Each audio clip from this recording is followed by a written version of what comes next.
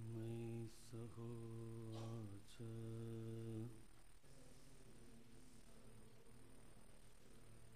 आकाशो हवायश देवः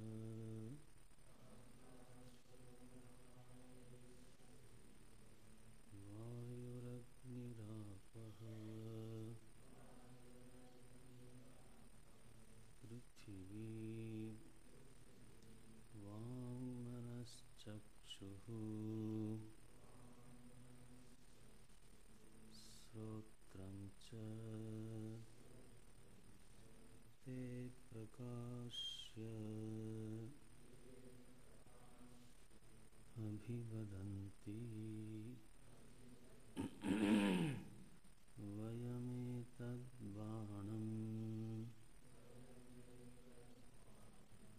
अवष्टभ्य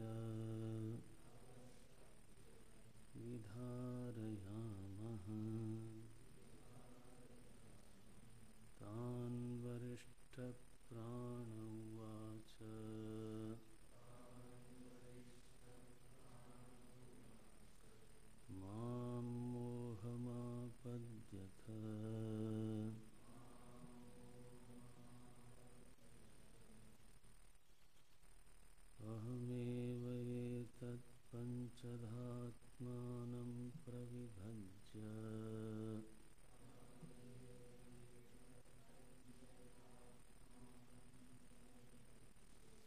ये तद्वाण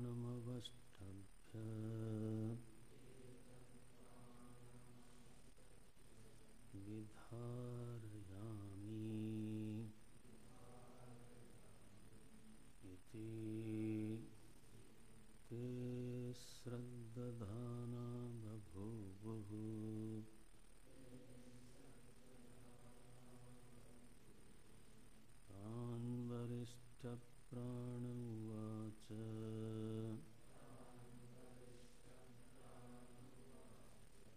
मामोहमापद्यथ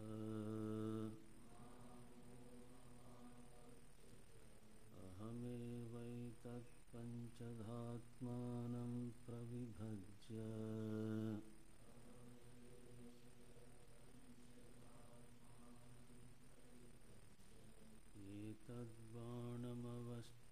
यविधा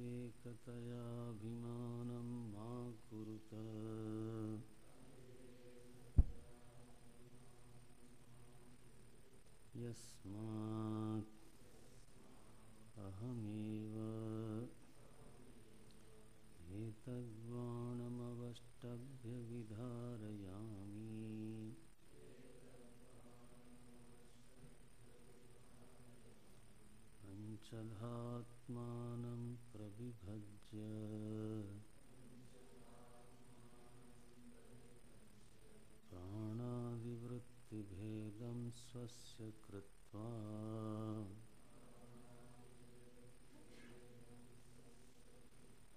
विधारयामीति उक्तवती च तस्मिन् ते श्रद्ददाना अप्रत्ययवन्तो बभूवुः।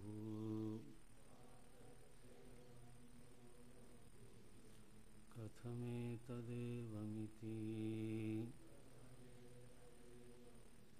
कथमेतदेव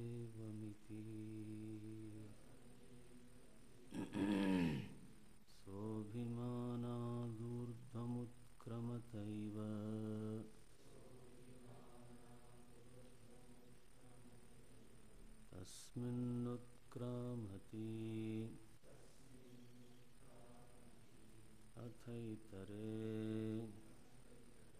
सर्वे एवोत्क्रामन्ते।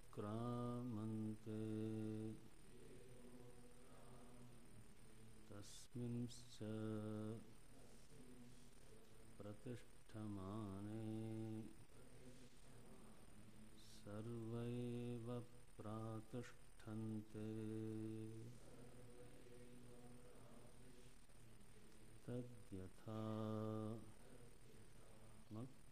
मधुकरराजानम्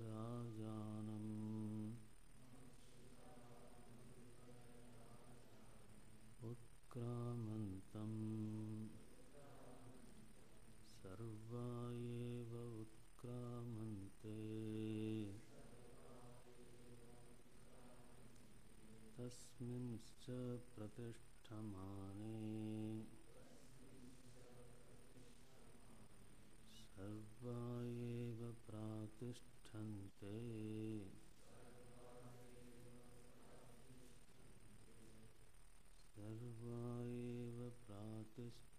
be.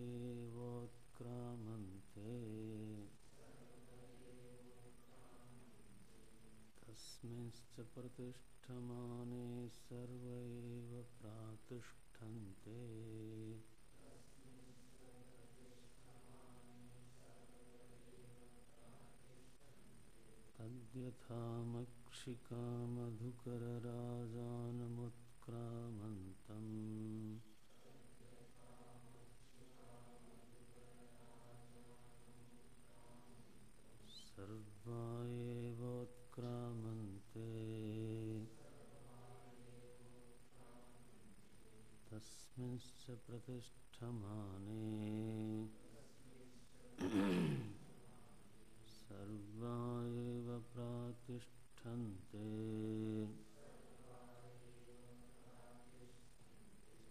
एवं वाङ्मनश्चक्षुश्रोत्रं च।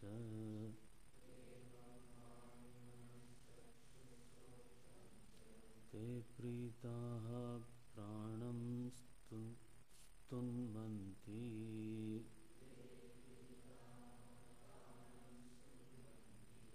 ते प्रीताः प्राणं स्तुन्वन्ति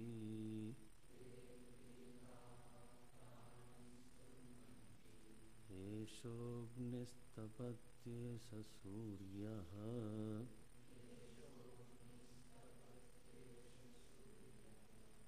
एष पर्जन्यो एव मघवानेशः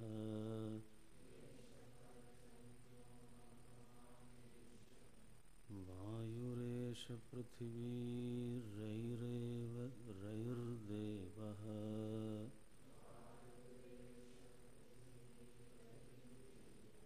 सदसच्चामृतं च यत् सदसच्चामृतं च यत्।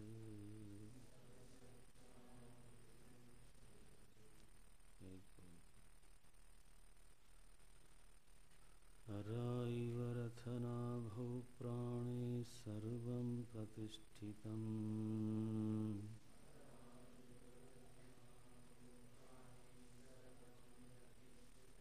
ऋचो यजोगंसि सामानि यज्ञः क्षत्रं ब्रह्म च।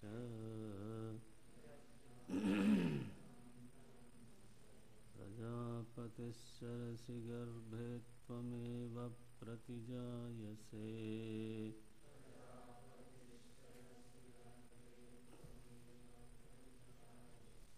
तुभ्यं प्राणप्रजास्त्विमा बलिं हरन्ति।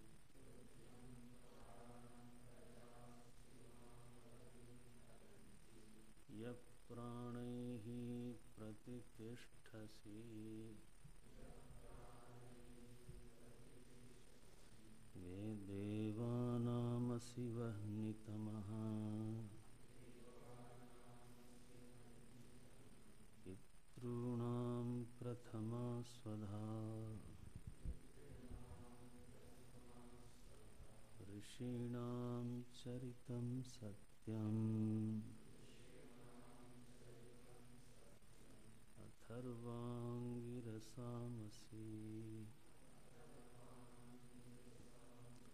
देवानामसि वह्नितमः पितॄणां प्रथमा स्वधा। ऋषीणां चरितं सत्यम्। अथर्वाङ्गिरसामसि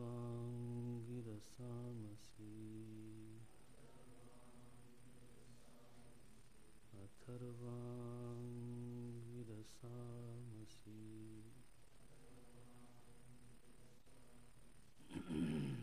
oh. so ये इंद्रिय और प्राणों में एक कलह की चर्चा श्रुति माता ने की है। प्रश्न ये है कि कितने देवता इस प्रजा को धारण करते हैं? कत्यव देवा प्रजा धारयते मूल प्रश्न को याद रखें। पहला जो प्रश्न आया था, कबंधी कात्यायन से, वो प्रश्न था कुतो हवा इमा प्रजा प्रजायन्ते। अब बोलते हैं भगवान कतीव देवा प्रजाम विधारयन्ते। हे भगवान, वो कितने देवता हैं जो इस प्रजा को, प्रजा मने संघात कह लीजिए, कार्यकरण संघात रूप, शरीर को धारण करते हैं जहाँ तक शरीर की धारणा का प्रश्न है तो उसमें तो सारे ही देवताओं का योगदान है। श्रुति में प्रश्न बड़े ही रोचक ढंग से कहा गया। कतर एतत् प्रकाशयंते कह पुनरेशम वरिष्ठ। की देखा जाए तो तीन प्रश्न हैं। धारण कौन करता है? स्वयं इस देह में इस प्रजा में स्थित होकर के कौन लोग हैं जो प्रकाशित हो रहे हैं? प्रकाशित कर रहे हैं सो नहीं। प्रकाशित हो रहे हैं। स्वयं की महिमा को ख्यापित कर रहे हैं। और तीसरा प्रश्न है, इनमें से वरिष्ठ कौन है? ये तीन प्रश्न हैं। तो उत्तर दिया चूँकि धारणा करने वाले सारे ही कर्ण समुदाय हैं, इसलिए सबका ही नाम लिया श्रुति ने। और जो कारणभूत हैं, जो परिण परिणमित होकर के शरीर बने तो उनका भी नाम लिया। वायु आकाश, वायु अग्नि, आप पृथ्वी, पाँचों महाभूत फिर अंतकरण बहिर्करण। बोलते हैं ते प्रकाश्य। इन्होंने अपनी अपनी भूमिका के द्वारा, अपने अपने वर्तन के द्वारा देह में जो इनकी भूमिका बनती है, देह में जो इनका वर्तन है, उस वर्तन के द्वारा इन्होंने अपने आप को प्रकाशित किया। और यहाँ तक तो ठीक है, फिर प्रकाशित करने के बाद अभिवदंती। मानो इन्होंने कहा, सभी ने बोलना शुरू किया। क्या बोलते हैं? वयम एक बाणम अवस्टभ्य विधारयाम। तो हम ही इस पूरे शरीर को शिथिल न होने देते हुए अष्टभ्य का अर्थ क्या हुआ? हाँ शिथिल न होने देते हुए। माने अगर आप मेडिकल टर्म बोलें तो जो एजिंग प्रोसेस है, उसको रोकते हुए, जो जो विशीर्ण होने की एक प्रक्रिया होती है शरीर में, इसीलिए इसका नाम शरीर है। शीर्णत्वाद शरीर। है तो ये तो शीर्णता की ओर, जीर्णता की ओर सहज चलता चला जाता है। उसमें जो प्रतिरोध करने वाले लोग हैं, वो यही लोग हैं। तो अवस्टभ्य का भाष्यकार ने अर्थ किया अविशिथिली कृत्य अविशिथिली कृत्य का अभिप्राय क्या? शिथिल न होने देते हुए। इसको विशीर्ण होने से बचाते हुए हम ही इसको धारण करते हैं। और यह बात सभी देवताओं ने कहा इस भाव से कि हम अकेले ही इसको धारण करते हैं। ऐसा मान है। तो अगर इस पर ध्यान करें, आप निधिध्यासन करें तो कैसा बनेगा? कि मानो नेत्र सामर्थ्य की भूमिका बहुत बड़ी दिखाई देती है। वो होवे तब हम चलें, फिरें, जाने, पढ़ें, लिखें। मैंने बहुत सारा उसका हमारे इस दैहिक जीवन में बहुत बड़ी भूमिका है। एक इंद्री न हो तो बस मुश्किल हो जाए। स्रोत्र कहाँ छोटा है? स्रोत्र अगर मान लो कहीं अफेक्टेड हो गया तो दिशा का ही ज्ञान नहीं हो पाता। किस दिशा से कौन सी आवाज़ आती है, किधर जाना है, किधर नहीं जाना है, मुश्किल हो जाता है। फिर दुनिया में बातचीत श्रवण से ही होती है, वेदांत श्रवण से ही होता है तो स्रोत लगता है कि मेरा महत्व जो है, नेत्र से थोड़ा थोड़ा ज़्यादा है। मैं तो वास्तव में, ये लोग हैं अपनी जगह पर काम करते हैं, लेकिन स्रोत्र का तो महत्व ज़्यादा है। स्पर्श ने कहा कि अगर मैं निधिध्यासन करना चाहिए निधिध्यासन इसी को बोलते हैं। जो शास्त्र में लक्षित पदार्थ हैं, उनको तथावत ही अनुभव कर लेना। ये तो कोई प्रयोगशाला में जाके अनुभव नहीं करना है। ये तो आपका अपना खुद का जीवन है। स्पर्श इंद्री का कैसा रूप बनेगा? अगर उससे पूछा जाए वो बहुत आराम से कह सकती है कि अगर स्पर्श का बोध ना होवे तो कांटा चुभ जाए, आपको पता नहीं चलेगा। हैं? अंग कट जाए, आपको पता नहीं चलेगा।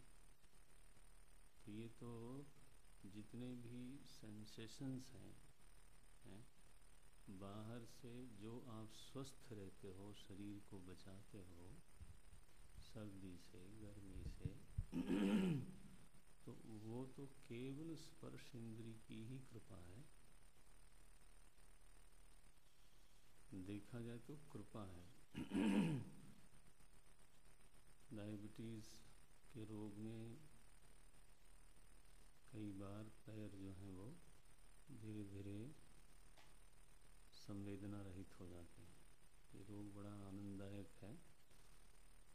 तो अब हो गए मान लो तो पता भी नहीं चलता। गुरुदेव के आखिर आखिर समय में गुरुदेव का ऐसा हो गया था तो हम उनके साथ जब चलते थे तो कई बार वो कार से उतर जाते थे। जो चप्पल पहने बिना ही, जूता पहने बिना ही, उनको पता ही नहीं चलता था। और बाद में फिर व्हील चेयर पर बैठना हुआ। तो स्पर्श इंद्री ऐसे हम जब ध्यान नहीं देते हैं, तब इतना बड़ा रोल दिखाई नहीं देता। लेकिन वास्तव में अगर देखा जाए, आदमी को सर्दी लग रही है, माने शरीर को सर्दी चोट पहुँचा रही है। और उसका स्पर्श इंद्री उसको बोध न करावे तो अपनी रक्षा वो नहीं कर सकता अभी दृष्टांत पता नहीं, आज डायबिटीज़ का ही आ गया। मुझे डॉक्टर साहब बता रहे थे कि जब संवेदना इतनी न्यून स्तर पे चली जाती है, कई बार सर्दी में लोग हीटर पे लगाते हैं पैर को और पैर जल जाता है। आप समझते हो, पैर जल गया और उनको पता ही नहीं, और फिर पैर काटना पड़ता है। क्योंकि उसका ठीक होना बहुत कठिन है। तो बाहर की संवेदना का अनुभव न होना ये कोई खुशी की बात नहीं है। ये न समझना, ये तो शरीर की रक्षा होती है क्योंकि बाहर से संवेदना आती है। तभी आप उस शरीर को उस भय से, उस खतरे से बचाते हो। तो कौन धारण कर रहा है? स्पर्श इंद्री उसका, उसकी जो भूमिका है, वो नेत्र इंद्री से छोटी है कि बड़ी है? क्या तय करें? तो सबने कहा कि ये तो कार्य करता है, छोटे हैं। अहमेव विधारयामी। सबकी वृत्ति यही है। रसना इंद्री से पूछा गया तो मुस्करा रही थी भीतर। उसने कहा, बोलने दीजिए जिनको कुछ काम धाम नहीं करना है, वो कम से कम बोले तो सही। बोले, आपका क्या भूमिका है? अरे, बोले, रसना नहीं हो तो आदमी भोजन न करे। भोजन न करे तो फिर हाँ फिर ये जो लोग बोल रहे हैं ना बढ़ बढ़ के, ये सब लोग मुरझा जाएँगे, एक दिन नहीं लगेगा। कई बार तो मन ऐसी चीज़ है कि अगर उपवास का संकल्प ले ले, अभी ब्रेकफास्ट का समय नहीं हुआ है। केवल संकल्प लिया गया है कि आज उपवास है। उतने से ही मुरझा मन की लीला बड़ी विचित्र है। उतने मात्र से ही कि आज घंटी बजने पर मुझे नहीं जाना है। तो वो इंद्रियाँ जो हैं, ये लोग बोल रही हैं। बोलने दीजिए इनको। नासिका ने कहा कि अगर मैं न होती तो ये सांस कहाँ से लेता आदमी? ध्यान रखना घ्राण और प्राण दोनों के लिए इंद्रिय एक ही है। आपने केन उपनिषद में देखा होगा।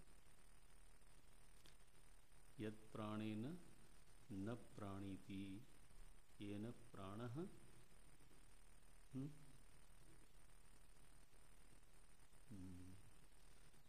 हाँ नहीं, वो तो ठीक है, बट मैं तो केवल ये देख रहा था कि अभ्यास होता है कि नहीं। यत प्राणेन न प्राणीति ये न प्राण प्रणीयते। भाष्यकार ने वहाँ प्राण के साथ घ्राण अर्थ किया था, ये ध्यान रखें। तो अब आप ज़रा सोचो कि अगर नासिका इंद्री ने ये कह दिया कि सांस तो हमारे ही ज़रिए होती है तो फिर तो उसका महत्व तो सबसे बड़ा हो गया। अब बोलो आप। कर्मेंद्रियाँ भी कुछ न कुछ बोल ही सकती हैं। बोले, आप चाहे जितनी मर्ज़ी देखो, अगर पैर ही ना हो तो विसर्जन एक दिन ना हो तो नारायण। जितनी भी कर्मेंद्रियाँ हैं, वो सब की सब तो जीवन चलाती हैं। तो सबको इस बात का बड़ा घनघोर अभिमान है, अहमेव विधारयामी। भाष्यकार लिखते हैं, मया एव एकेन अयम संघात ध्रियते इति हाँ बोलो। नहीं ना एक ही कस्य एक एक एक ही कस्य अभिप्राय। एक एक का ऐसा अभिप्राय था कि मेरे अकेले के द्वारा ही इस इस संघात को धारण किया जाता है। यह अभिमान है। और जायज़ है, सभी की भूमिका बहुत बड़ी बड़ी है। तो आपकी स्थिति क्या बनी भाई? ये तो इंद्रियों की स्थिति हो गई। आपकी स्थिति क्या है? आप मने? हम्म?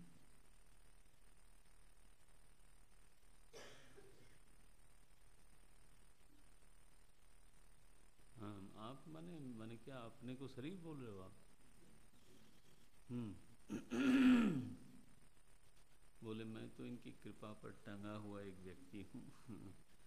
ये तो सब लोग जो हैं हमारी मदद कर रहे हैं और मैं बेचारा इन्हीं की वजह से मेरी धारणा है। एक तो ये दृष्टिकोण हो सकता है। लेकिन यहाँ कहा गया कि आपका नाम है इस प्रसंग में प्राण। देखो, तान वरिष्ठ प्राण वाच अवाया।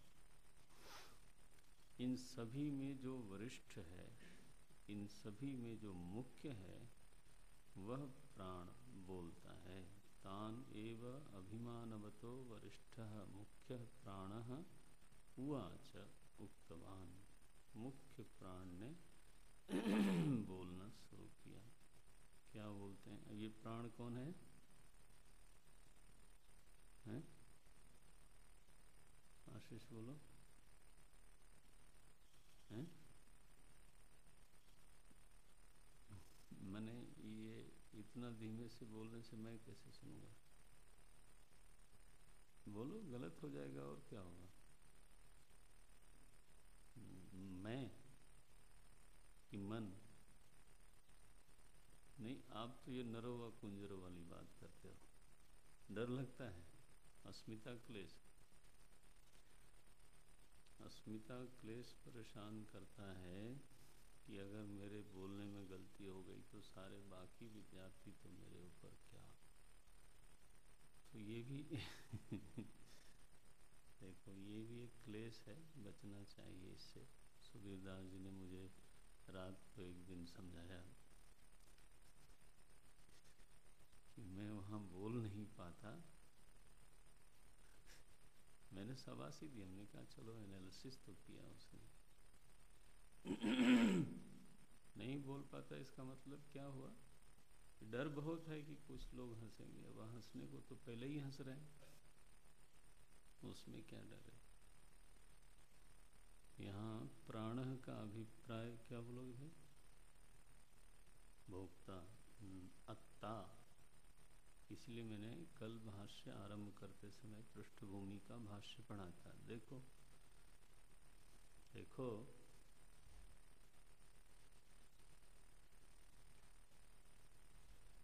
हम्म बोलो। हम्म प्राण याद रखना चाहिए ना।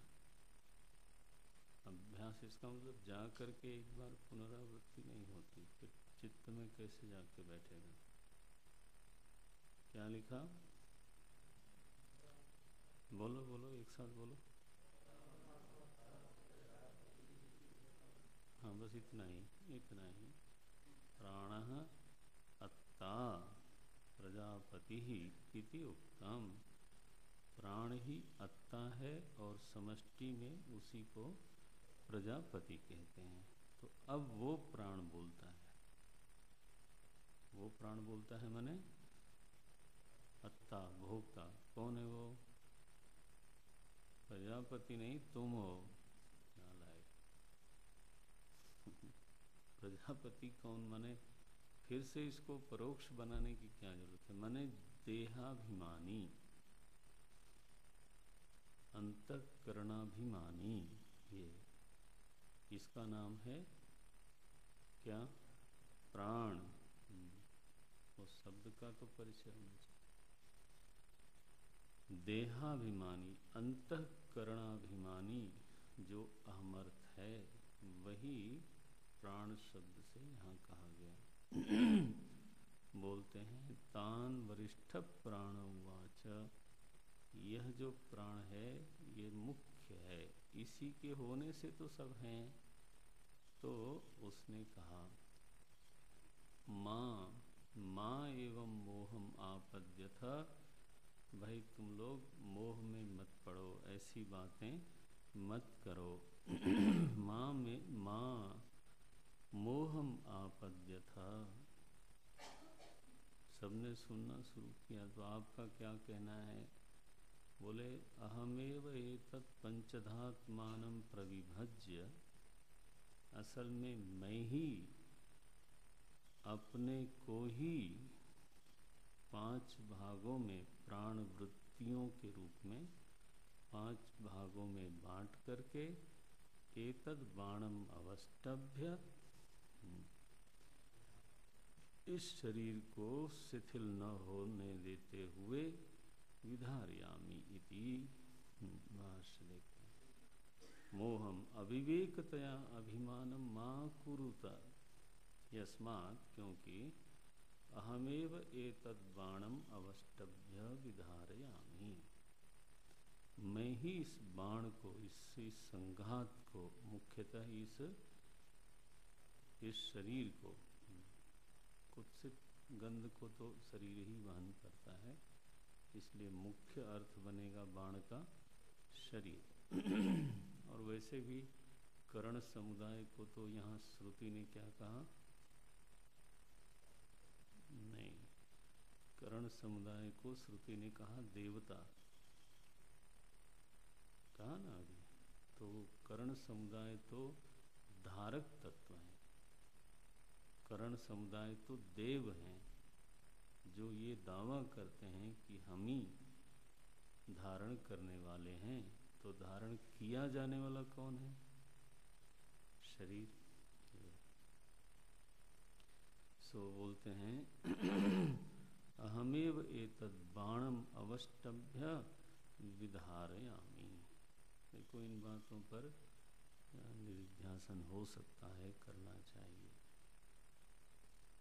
यह बिल्कुल विलक्षण सत्य है। माने मेडिकल साइंस और साधारण जो विद्याएँ हैं, उनसे बहुत विलक्षण बात है।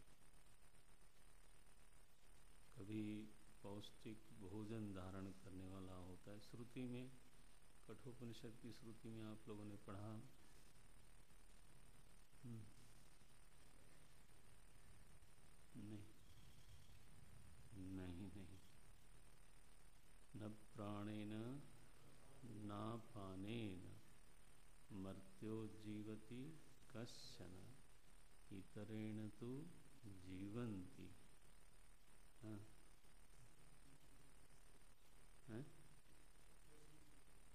यस्मिन् नेता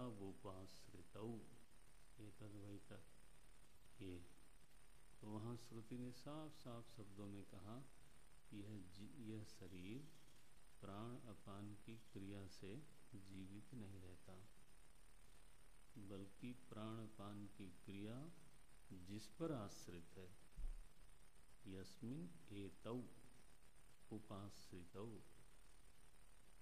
उसकी वजह से शरीर जीवित रहता है। अभिप्राय यह है कि अभिमानी की, अभिमानी के कारण शरीर जीवित होता है। ढूँढने की बात यह है, साक्षात्कार करने की बात यह है कि यह अभिमानी कौन है?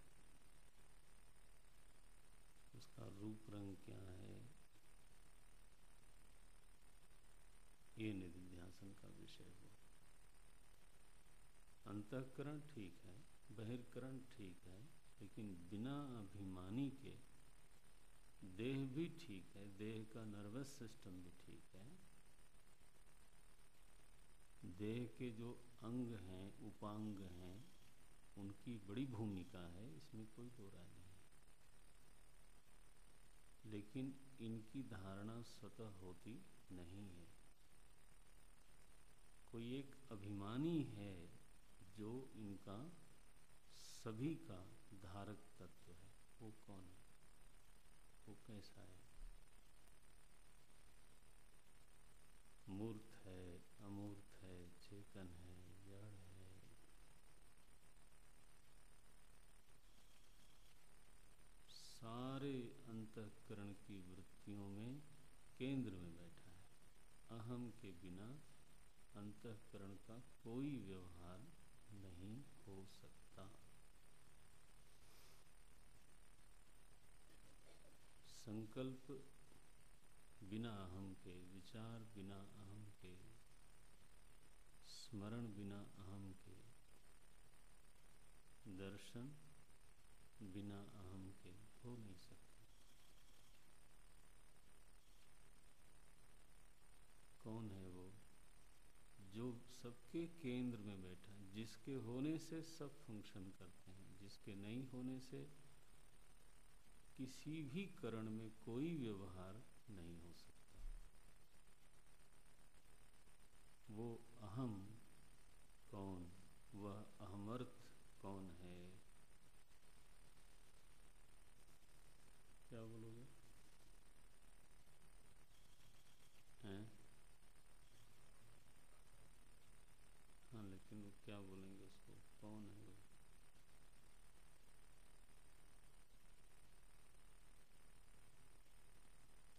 नहीं मान लिया मैं हूँ लेकिन मैं कौन? अगर दर्शन की भाषा में बोलें तो? चिदाभास बोले? क्यों भाई? चिदाभास बोले ठीक नहीं है। क्या गलत है इसमें?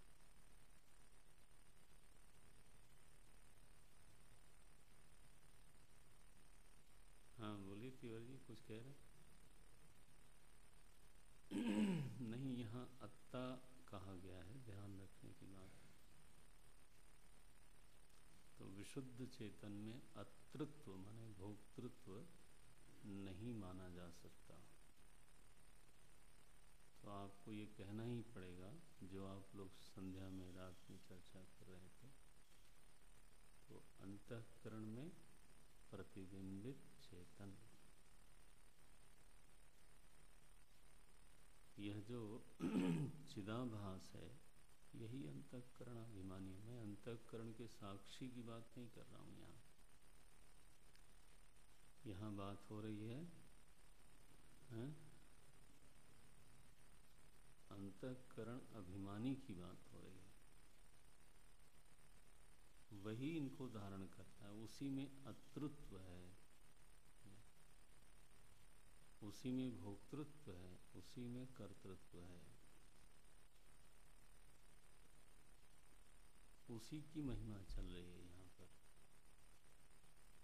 ये ध्यान रखना, यहाँ यहाँ विशुद्ध चेतन में अतृत्व दिखाना नहीं चाहेंगे वो, और वो घटेगा भी नहीं।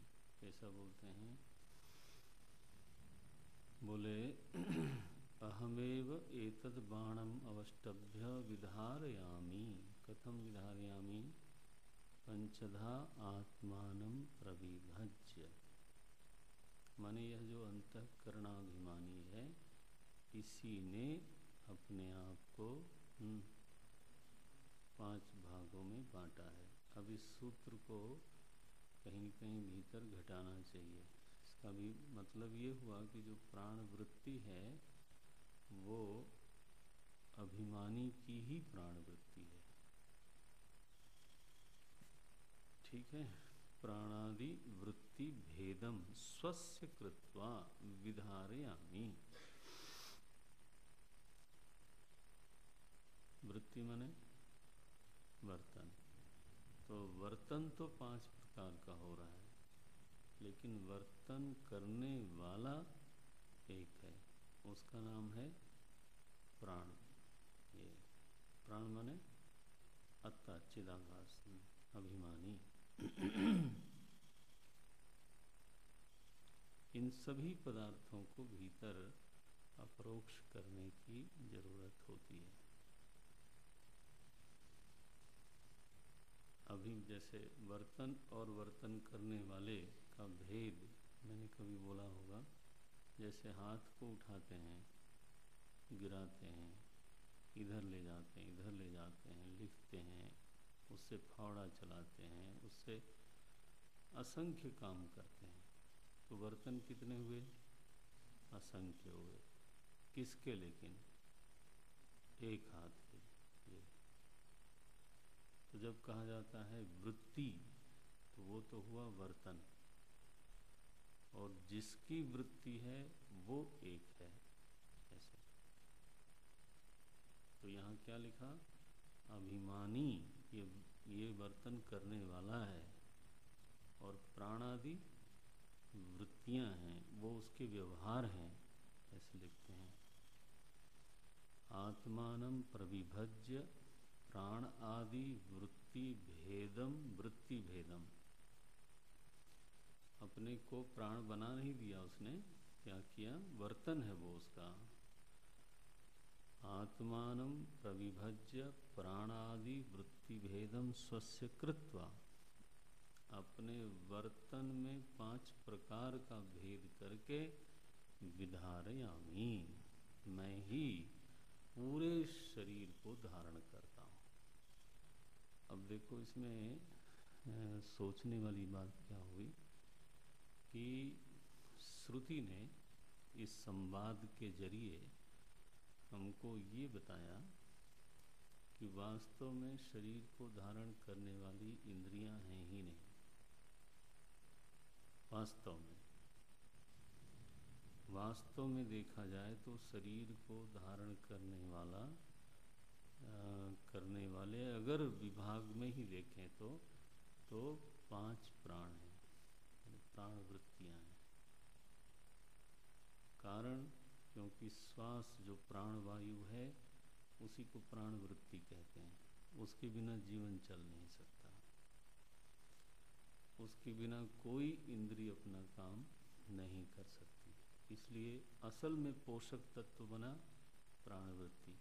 इसी तरह से विसर्जन आदि जो क्रिया है, वो अपान के बिना नहीं हो सकती।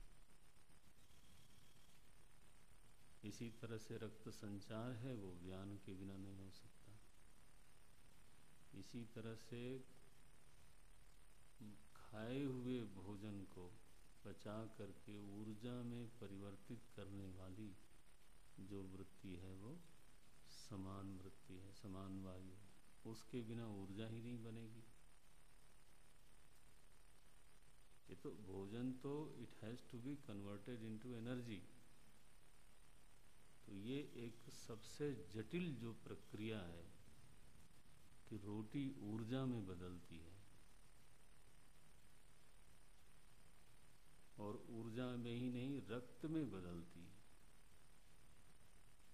हड्डी में बदलती है मांस मज्जा में बदलती है। मोस्ट मिस्टीरियस देखा जाए तो एक प्रोसेस है जिसको केवल समान वायु संपादित करती है। और देह में जो परिवर्तन हो रहे हैं बड़े बड़े उसको उदान वायु संपादित करती है। जैसे एक किशोर युवा बना तो ढेर सारे परिवर्तन हुए शरीर में। तो वह जो परिवर्तन है, वो उदान वायु करती है। नाउ, पहले ये कहा गया कि ये पाँचों महाभूत धारक तत्व हैं। फिर कहा गया, बहिर्करण और अंतकरण धारक तत्व हैं। मैंने ग्यारह धारक तत्व हैं। उनका निषेध नहीं है। अपनी जगह पर धारक देवता हैं। कितने हुए? सोलह। सोलह हैं, पाँच महाभूत और ग्यारह ही नहीं? हाँ। भाई तो सोलह देवता हैं जो कि शरीर को धारण करते हैं। लेकिन आगे श्रुति बोलती है कि ये सोलह के सोलह लोग तो असली धारक नहीं है। असली धारक है प्राण आदि पाँच वृत्तियाँ। अगर वो न होवे तो अगर प्राण वायु भीतर न जाए तो ये सोलह बेकार हो जाएँगे। अगर अपान वायु का व्यवहार ठीक न हो रहा हो, कहीं अड़चन हो, शरीर रुग्ण हो जाएगा। व्यान वायु उदान वायु समान असल जो भूमिका बता रही हैं श्रुति, वो यहाँ आकर के प्राणादि पंचवृत्तियों की बता रही हैं। तो अगर गिनती करें तो कुल हुए 21 लेकिन उसमें से मुख्य जो भूमिका है वो प्राण वृत्तियों की है। ये पुरंजनोपाख्यान में भी आप लोगों ने पढ़ाई है, सुना होगा। कि मुख्य रक्षक जो है नगर का, वो सांप है। पाँच फनों वाला सांप है। ये शरीर का भी असली धारक तत्व, फिर ये पंच प्राण निकले लेकिन श्रुति का यहाँ बताने में उपदेश नहीं है। श्रुति कहती है, ये पाँचों वृत्तियाँ हैं किसकी?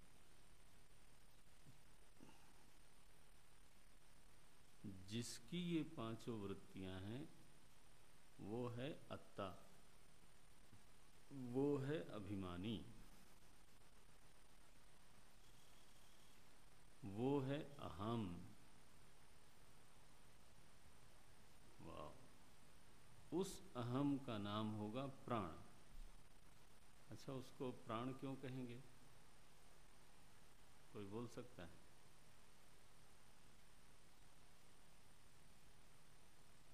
नहीं।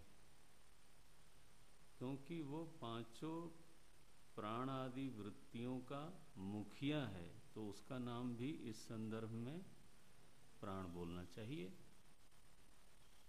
जब प्राण का संदर्भ चल रहा हो तो प्राणों का, माने पाँचों प्राण वृत्तियों का जो मुखिया है, उसको भी प्राण संज्ञा से पुकारना चाहिए।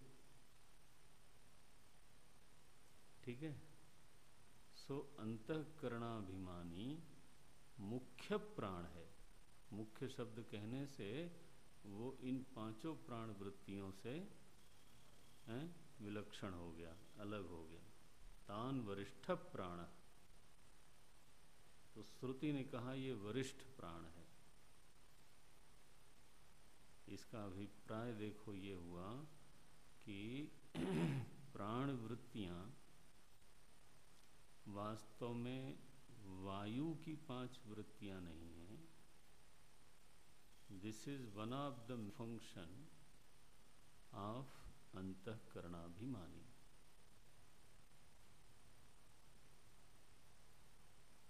आत्मान पंचधा प्रविभज्य। देखो, श्रुति वाक्य है तो प्रमाण वाक्य बने फिर। आत्मान पंचधा प्रविभज्य हाँ एत, एतम बाणम अवस्टभ्य विधारयामी। ये। एतद बाणम अवस्टभ्य विधारयामी। सो पाँचों वृत्तियाँ अभिमानी की ही हैं ये बात तय हुई। मैं हुआ बीच में केंद्र में। तो देखा जाए तो धारक तत्वों की अगर गणना की जाए तो कितने बने? हाँ मैंने 21 तो बने गौण, और इन सब का जो केंद्र है, सबका जो जो जो जो आधार है, वो है अभिमानी, मुख्य प्राण। असल में उसको ये लोग मिल के धारण कर रहे हैं, ऐसा नहीं है। बल्कि वो सबको धारण कर रहा है, ये सच्चाई अच्छा अब देखो श्रुति की प्रस्तुति कितनी सुंदर है। जब ऐसा प्राण ने कहा तो सहज ही सभी ने इस बात को स्वीकार नहीं किया। अब आप सोचिए कि आँख को कैसे लगा होगा कि यही धारण करते हैं। मैं इतनी बड़ी भूमिका निभाती हूँ और ये कह रहा है कि मैं ही धारण करता हूँ। अकेले अंतकरणाभिमानी अथवा अकेले अभिमानी ही कैसे धारण कर लेगा? क्या स्पर्श इंद्री की कोई भूमिका नहीं है क्या? कि रसना की भूमिका नहीं है? किस इंद्री की महिमा कम है? तो धारण करने वाला अभिमानी ही है, इस बात को सभी ने सहज रूप से स्वीकार नहीं किया। मानो, देखो, ये मानो कि एक साधक जो निधिध्यासन कर रहा है, ये उसकी अनुभूति है। कि आखिर, ये उसके भीतर का प्रश्न है कि आखिर ये ये अभिमानी धारण करता है या इनकी वजह से अभिमानी की स्थिति है? ते अश्रद्धाना बभूवु। ते ते मने? ते देवा। आप ऐसे जोड़ लो। ये जितने भी देवता हैं, ये सब के सब हाँ अश्रद्धालु हुए। अश्रद्धालु हुए का क्या अर्थ है? नहीं, भाष्यकार ने सुंदर किया बोलते हैं अप्रत्ययवंत बभूवु। देखो, अश्रद्धालु होना और अप्रत्ययवंत होना में बहुत फ़र्क है। श्रद्धालु माने होता है अस्थि भाव श्रद्धत्ते। और प्रत्ययवंत का अभिप्राय है, बात समझ में आ गई। और बात समझ में नहीं आई, तब उसको बोलेंगे अप्रत्ययवंत। बहुवचन है ये। एक वचन क्या बनेगा? हाँ हाँ? मुँह में बोलोगे तो कैसे चलेगा? ज़ोर से बोला करो। बोलो। नहीं। नहीं। है? नहीं। अप्रत्ययवान। भगवान का भगवंता बनता है। ये सरल है, इतना आना चाहिए आपको। अप्रत्ययवंत, अप्रत्ययवान एक एक के लिए कहा जाए एक वचन में तो अप्रत्ययवान। माने कथम, देखो ये क्या बोलते हैं आगे, कथम एतद एवं इति। ये ये कैसे होगा? जैसा ये कह रहे हैं, ये ये कैसे सच होगा? यह उनको समझ में नहीं आया। तो श्रुति तो दिखा रही है संवाद, लेकिन वास्तव में समझ किसको आना है? साधक को साधक को ये क्या सच में यह जो प्रजा है, ये क्या लंग्स की वजह से धारण नहीं किया जा रहा है? क्या हार्ट की वजह से धारण नहीं होता? देखो ना वाइटल क्या किडनी इसके लिए जिम्मेदार नहीं है? वाइटल ऑर्गन्स क्या यही उसको धारण नहीं कर रहे हैं? ये तो फ़िज़िकल हो गया। फिर इंद्रियों ने कहा, हमारी इन्हीं की वजह से धारण होता है। नर्वस सिस्टम यस और इन सबको इग्नोर करके तो कोई बोले उठ करके कि अभिमानी ही इस प्रजा को धारण करता है तो कथम एवं ये कैसे हुआ? तो प्राण ने कहा कि अच्छा आपको सबको लगता है कि मेरी कोई खास भूमिका नहीं है तो इस संवाद बड़ा विचित्र है। श्रुति समझाना चाहती है हमको कि अभिमानी प्रजा का धारक है, इसको कैसे समझना चाहिए साधक को? तरीका क्या है? अन्वय व्यतिरेक है। वो अन्वय व्यतिरेक कलह के ज़रिए दिखाया। क्या लिखते हैं? सह सह मने प्राण, सच प्राण। तेषाम अश्रद्धानताम आलक्ष्य अभिमानात ऊर्ध्वम उत्क्रमते इव। तो वह जो प्राण है, वो देखा कि इन लोगों को ये बात समझ में आई नहीं है, ये लोग श्रद्धा नहीं कर पा रहे हैं। तो वो महाराज हर्ट हो गया। आहत हुआ कि बताओ मेरे ऊपर श्रद्धा नहीं करते लोग। तो अभिमान, आहत तो तभी होगा तो उसको लगा उसके प्रतिष्ठा पर कोई प्रश्न आया तो अभिमान पूर्वक आप प्यार से कहना चाहें तो स्वाभिमान पूर्वक कह लीजिए। थोड़ा उसको मधुर बना लीजिए और क्या। स्वाभिमान के कारण उसने कहा मुझे अब यहाँ रहना नहीं है। मैं तो अब चला। तो उत्क्रामत लिखते हैं उत, उत्क्रमत इव। ऊर्ध्वम उत्क्रमत इव।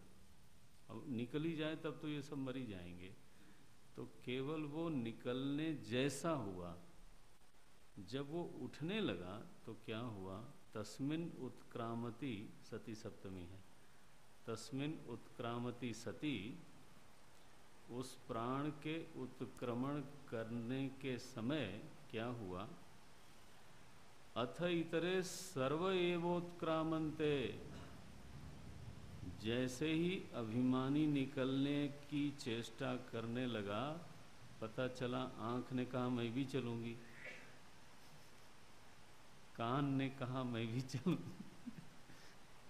सर्वे एव उत्क्रामंते देखो, अभिमानी जैसे निकलने लगा, कोई भी वहाँ उस प्रजा में, उस महल में रहने को तैयार नहीं है।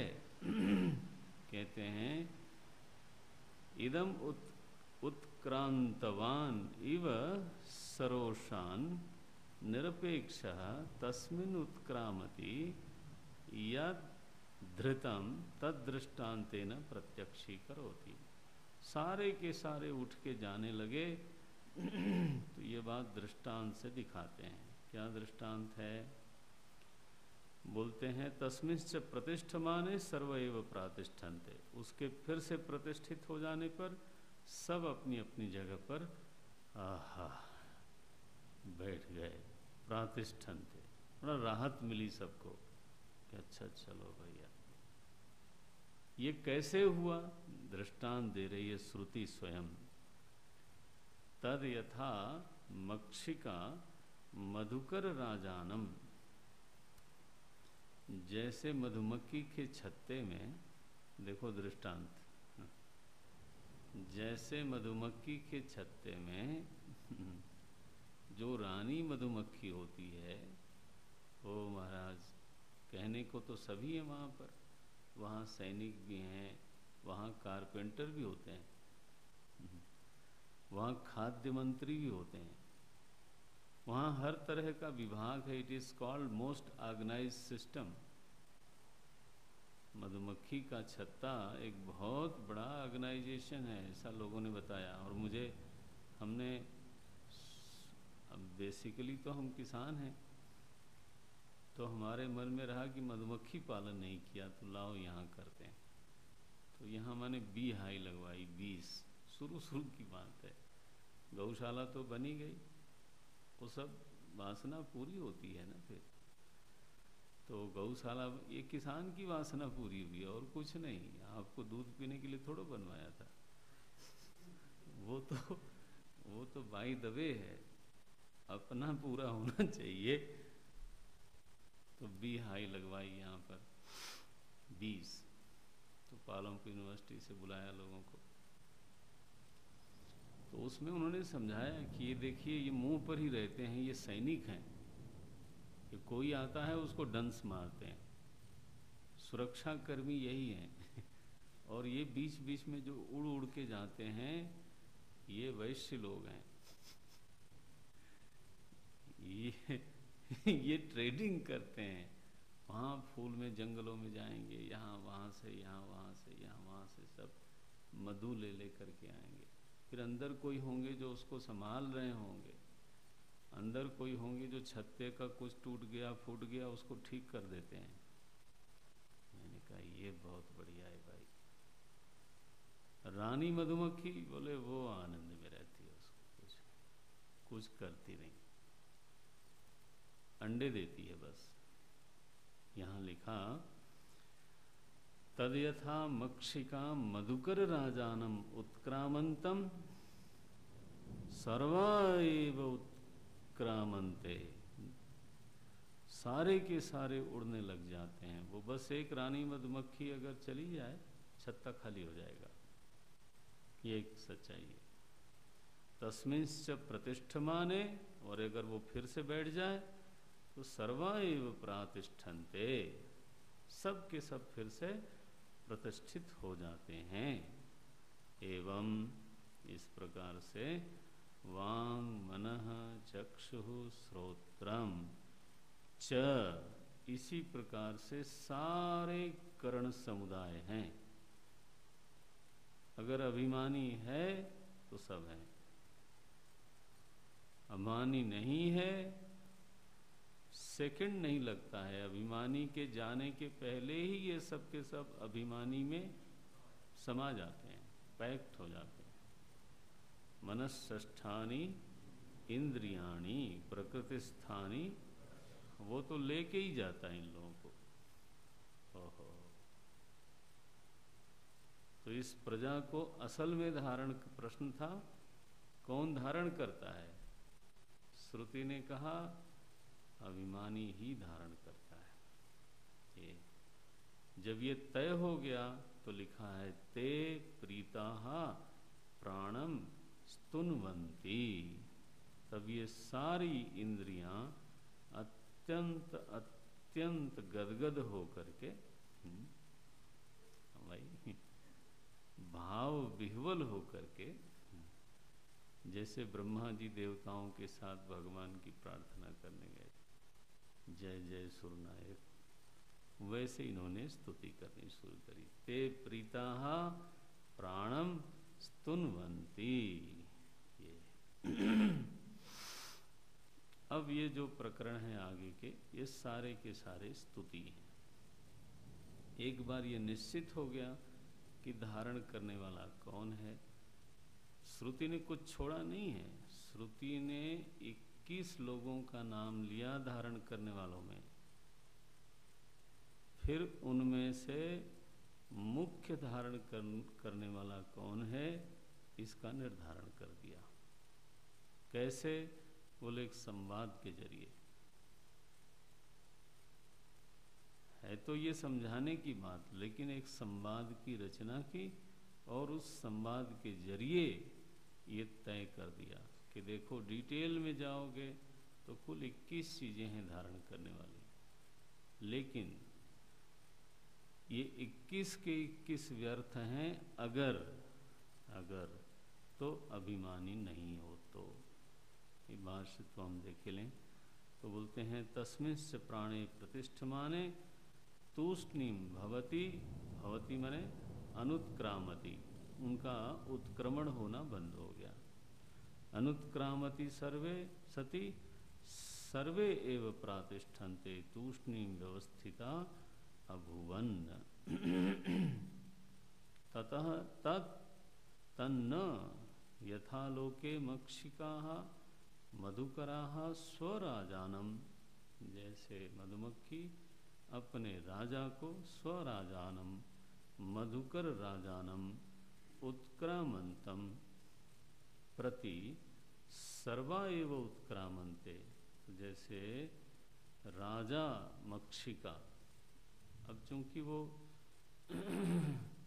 मुखिया है, इसलिए उसको राजा संज्ञा दे रहे हैं। राजा मुखिया के उत्क्रमण पर सारी मक्षिकाएँ उत्क्रमण करने लग जाती हैं और उसके बैठ जाने पर तस्मिश्च प्रतिष्ठ माने सर्वे सर्वा एव प्रातिष्ठन्ते, सबकी सब प्रतिष्ठित हो जाती हैं प्रतिष्ठन्ति यथा अयम दृष्टांत एवं वांग मन चक्षु श्रोत्र च इत्यादय। केवल इतने ही नहीं, इत्यादय मने सारे के सारे 21 सभी के सभी इत्यादय ते उत्सृज्य अश्रद्धानताम ये जो अश्रद्धा उनके भीतर आई थी, अथवा कहिए ना समझी आई थी कि केवल अभिमानी कैसे इस देह को धारण करेगा। उस अश्रद्धा को उन्होंने उत्सृज्य छोड़ दिया। उत्सृज्य अश्रद्धानताम बुद्धवा प्राण महात्म्यम प्राण की महिमा को जान लिया और फिर प्रीता प्राणम स्तुनवंती प्रसन्न होकर के प्राण की स्तुति करते हैं। कथम। अगली कक्षा में देखेंगे